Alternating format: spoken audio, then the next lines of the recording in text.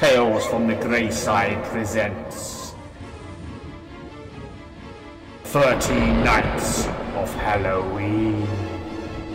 Let's make it 31 nights of Halloween instead, if your heart can stand it. My daughter, the witch. Destroy her before she brings her evil upon us all. No, please. I have harmed no one. That chick's really up the creek without a paddle. You wonder how she'll get out of it.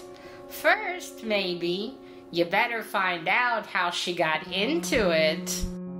So let's go back to the morning before. Tomorrow is the wedding, Father. This is your last chance to give Prudence and me your blessing. Never! I do not doubt she's a good, God fearing woman, but I did not raise my son to marry a pauper. Isn't it enough that I love her, Father? Don't make me laugh. Tis your inheritance, my hard earned money, that she's after, not your love. Come, Prudence, we're wasting our time here. Oh, Miles, darling. I never dreamed I'd make enemies of you and your father. If you wish to change your mind about marrying me, I'll I'll understand. How sweet of you to say that, my love, but nothing will ever separate us. Nothing? If only that cocky cat could see what's going on now, back in the family pad. I'd hoped it wouldn't come to this. Before Miles brings her home, I must slip these objects into their proper places. It's my only hope. That night, the local yokels are treated to a strange sight. I tell you, whatever is causing me this terrible head pain emanates from here. Prudence's house? You can't be serious, Father. Can't I? Then what do you call this? A witch's circle around the initials of your name, Samuel. Miles!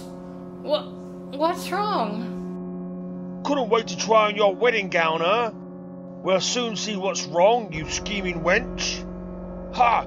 Just as I suspected, the cause of my head pain.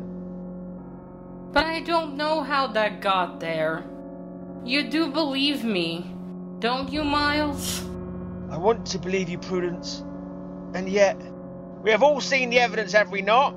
Aye, clearly Prudence is a witch. And she must die by stoning. You all know what happened next, but you'd never guess whose consciousness is suddenly bothering him. Oh my god, I never thought it would come to this. Father, what are you saying? Stop! It was all a hoax. That poor child is no more a witch than you or I. It was I who put the coins and the doll there. I only did it to discourage my son from marrying her. I never wanted her killed. Bah, you're a foolish old man, Samuel. That's right, foolish. Take her, Miles. Never again will I stand in your way. I never want to see his evil face again. Don't say that, Miles.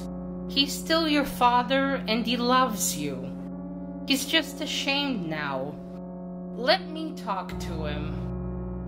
Father Samuel, wait.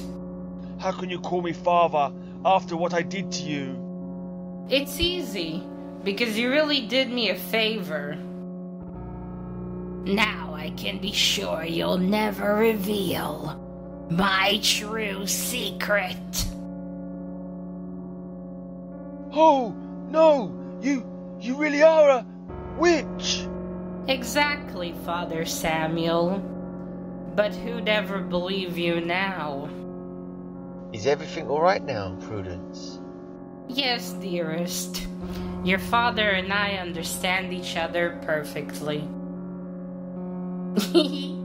I'm sure glad they did, because that Prudence chick turned out to be my great great grandmother.